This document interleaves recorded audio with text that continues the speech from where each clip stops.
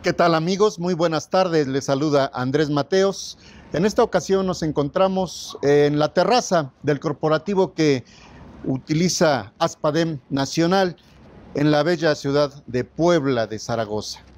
Para invitarles a que nos sigan, se suscriban a nuestro canal de YouTube y sigan los comentarios, las cápsulas que estaremos subiendo continuamente acerca de temas fiscales, contables, financieros, bancarios, todo lo que se requiere para que el empresario tenga una actividad continua y bien informada.